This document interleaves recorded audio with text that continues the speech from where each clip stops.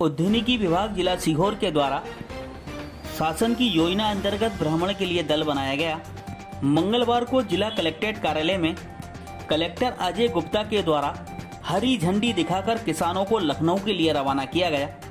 इस दौरान कलेक्टर श्री गुप्ता ने किसानों से परिचय प्राप्त किया। उन्होंने किसानों को बधाई और शुभकामनाएँ दी।